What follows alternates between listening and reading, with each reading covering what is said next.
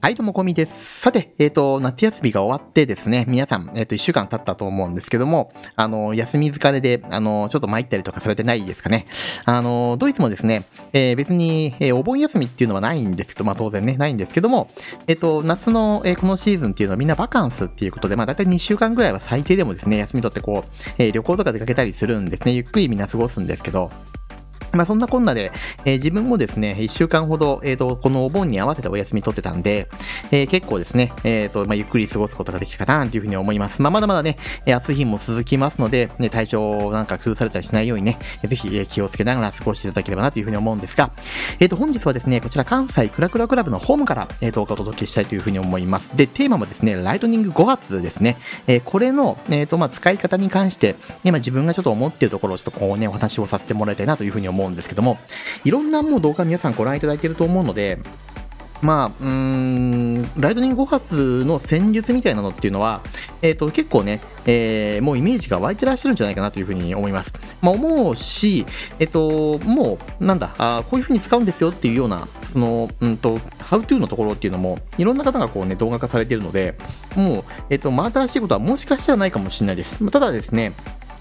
と自分みたいにあんまり、えーライトニング5発慣れてない人っていうのが、えーとこれから使おうなんていう場合には特に、えー今回ちょっとお話しする気づきみたいなところっていうのは、まあ、役立つのかなというふうにも思いますので、ぜひね、えー最後までちょっとお付き合いいただければなというふうに思うんですが、合計3本、えー動画見ていきたいと思います。1本目はこの秋風さんのアタックですね。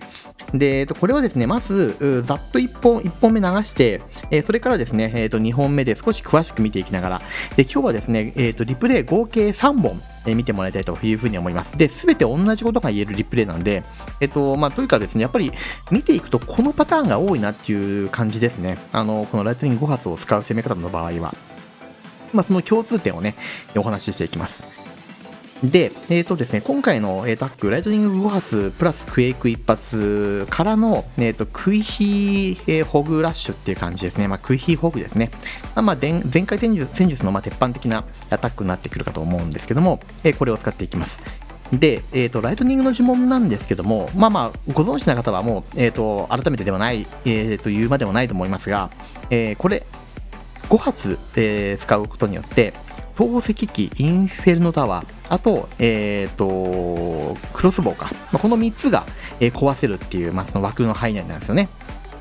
まあ、もちろん5発プラスクエイクを使うっていう前提にはなってくるんですけども、えーこの、えー合計6枠分を使って今言った3つの施設が壊せる。で、えーこのライトニングを7発にすると、相手のアーチャークイーンだったり、イーグル砲、あとは、えークランジョこれも一緒に、まあ、一緒にというか、まあ、これを壊せる、えーダメージ量になってくるんですけども、まあ、そこまでやってしまうと、ジャンプの呪文、えーレイジの呪文、ヒールの呪文、まあ、こういった呪文を1枚ずつ、えーそれぞれ、えー持っていけなくなってしまうわけなんで、その後のパートが結構苦戦しちゃうし、えー苦戦しちゃうからこそ、なるべく、えっと、その7発を使うような、えっと、場合っていうのは、ライトニングの呪文で、もうクランジョプラス透析機とか、まあそういう大きなアドバンテージが取れる、え場所を狙っていくっていうのがセオリーですよね。なんですけど、そういうもう村ってやっぱりさすがにね、あの減ってきてます。まあ、クラン対戦リーグとかクラン対戦普通にやってる上では、あのまだまだそういう村もあると思うんですよ。あるんで、全然そのパターンでも、まだまだね、使えるし、なんなら、えーライトニング8発プラスクエイク2発とか、まあ、そういうね、あのもう、えークランジョプラス透析2機に他のものも巻き込んでぶち壊すみたいな、そんなようなね、え使い方も全然また実はできちゃったりもするんですけども、まあそうは言っても、まあそうは言っても対策がされてきた、えーというね、環境だというふうに思うので、えーじゃあこれからはどうなるかっていうと、ライトニング5発、これをですね、えー使っていくっていうのが結構ですね、え便利な、場面が増えてきてるんじゃないかなと、そんなような気がします。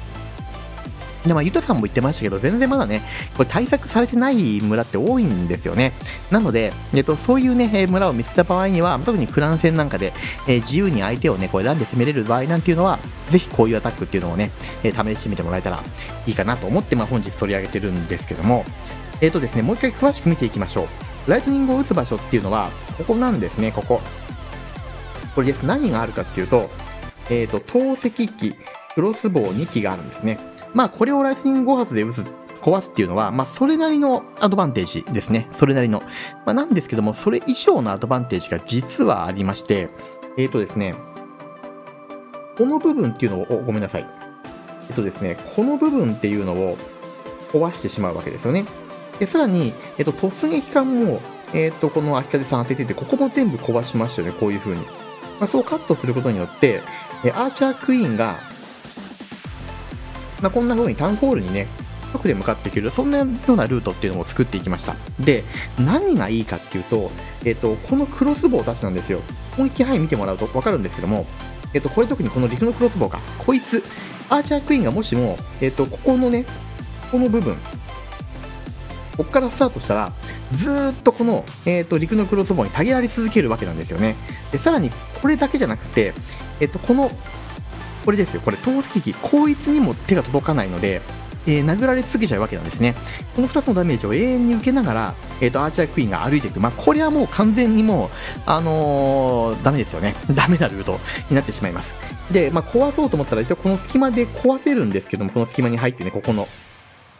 なんですよ。まあ、そこに入る頃にはもう、えっ、ー、と、シングルインフェルノとかもこうあったりするんで、もうズタボロにされちゃうということで、このクイヒールートは本来成立しないはずなんですよ。成立しない。やるんだったらこの壁の中にアーチャークイーンを入れていくっていうルートになってくるんですけど、まあ、それはそれでまた結構困難な道ですよね。相手のこの、えっ、ー、と、アーチャークイーンがここにもいたりとか、クロスボウを2機相手にしながら、しかもここに入ったからって言って、その次どこ行くんだっていうね、えー、さらにまっすぐ前に進んでいくのかなかなかしにくいと思うので、じゃこういうバイトをするかっていうと、えっ、ー、と、アーチャークイーンが手が届かない、このクロスと投石、これを折っていくんですね。そうすることによって、アーチャークイーンが、えー、受けるダメージを減らすことができる。つまり、えー、6発分の呪文コストも使っちゃうんですけども、防衛施設を壊し、かつ、えーと、本来ここを歩かせるのに必要なフリーズだったり、あと、レイジの呪文の枠っていうのを節約できる。これが大きいんですね。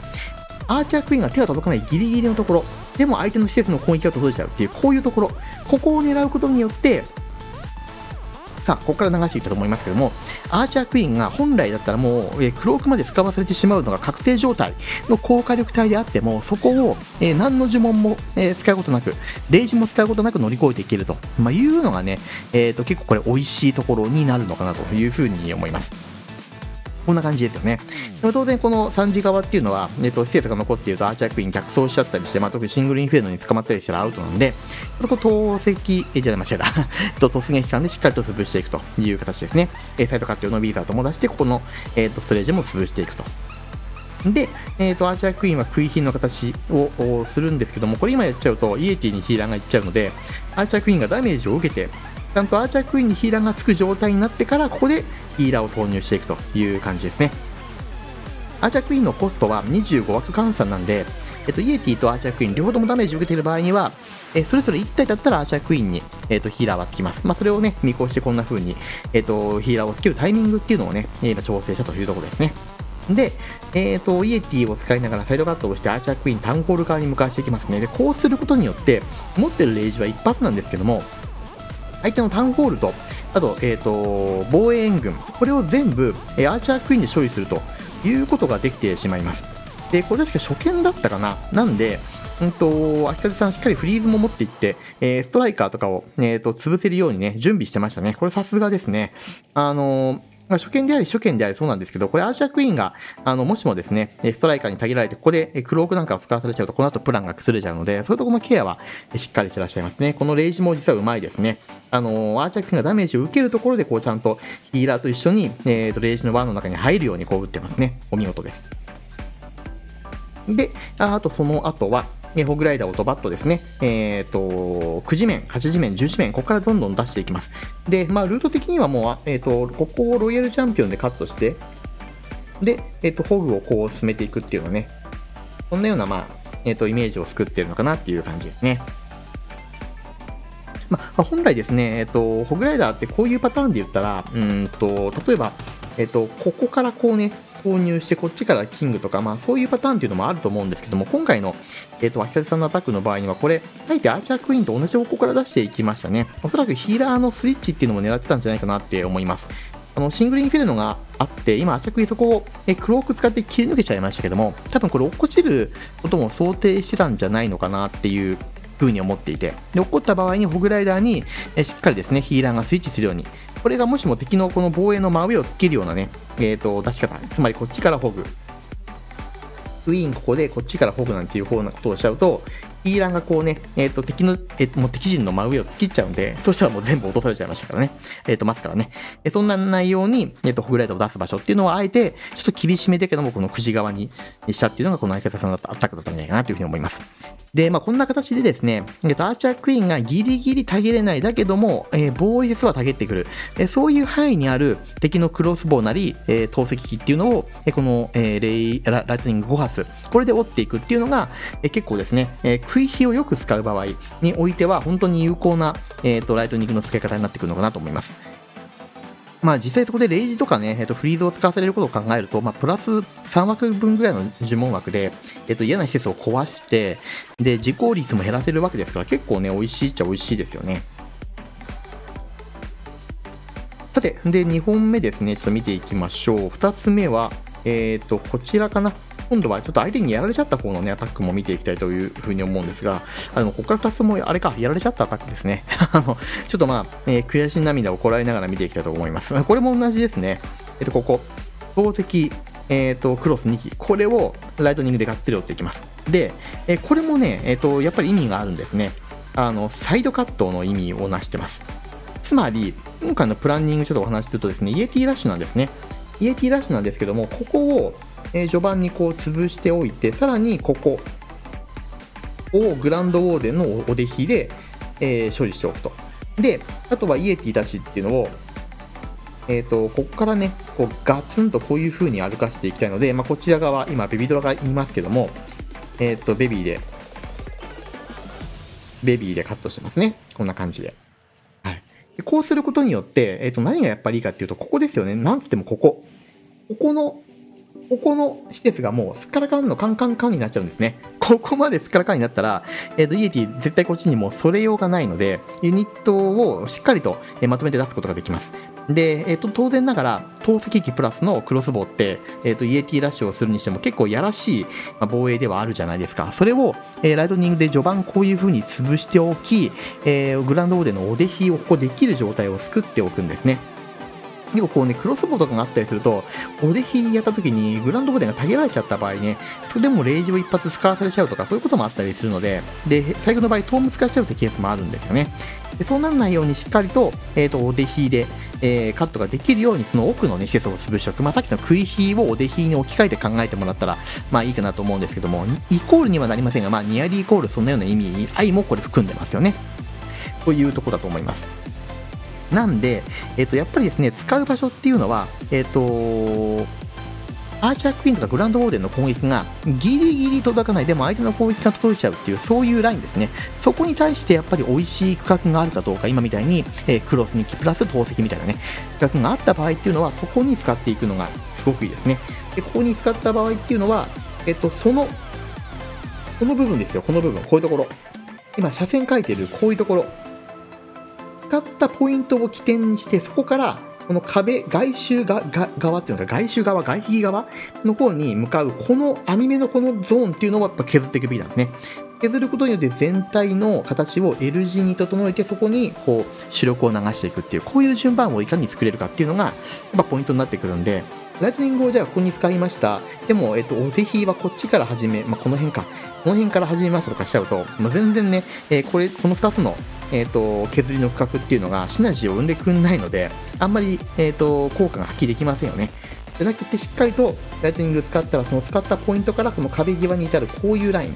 こういうところっていうのをしっかりと、えー、おできなり食い火でカットしながら主力を流していくと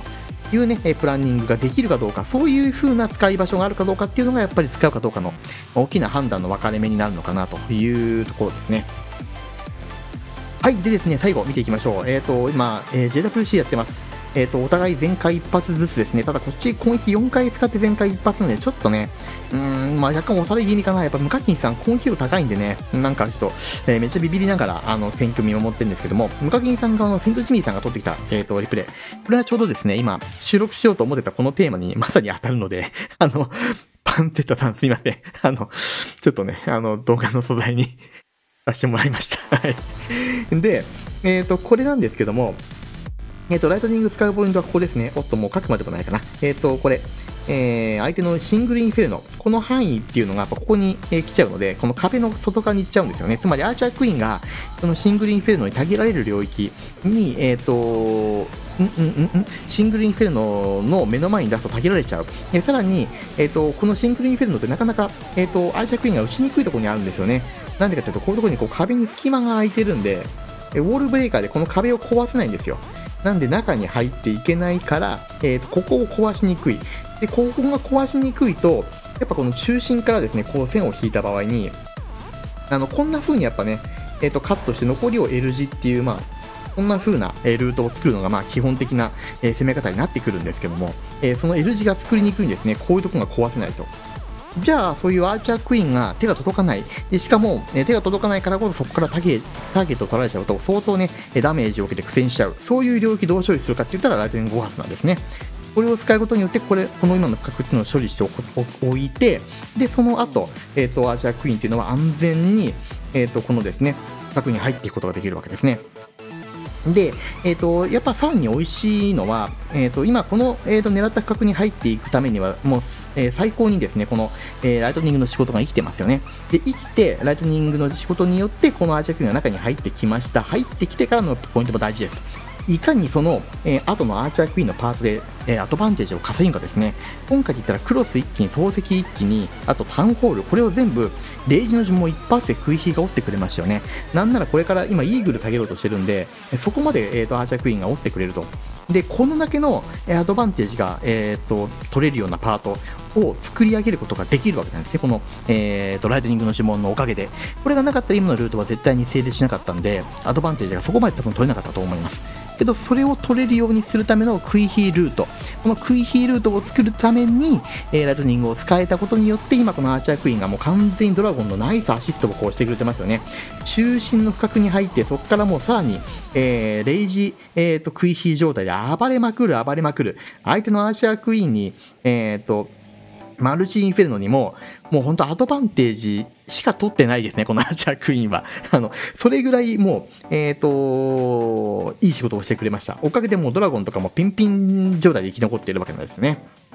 やっぱりそのためには、ここが壊したことが大きいですよね。そうしたことによってアーチャークイーンが安全に、このルートを歩くことができたと。で、歩くことができたからこそ、えー、きっちりですね、えっ、ー、と、ここにあった投石機とか、えー、クロスボウとかタウンホール、イーグル砲、インフェルの相手のアーチャークイーン、この、え、主要な、えー、6施設をレイジの呪文2発で追っていくことができたということになります。